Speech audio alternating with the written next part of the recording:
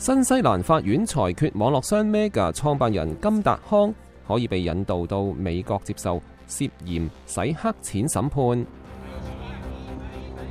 西班牙海岸警衛隊拯救七十名船民，其中包括咗十二名兒童。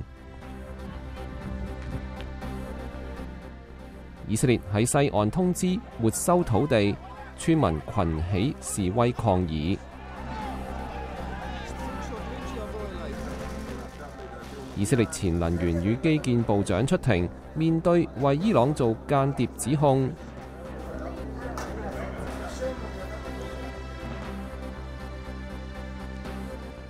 德國科學家宣布成功培植白犀牛胚胎，避免該物種滅絕。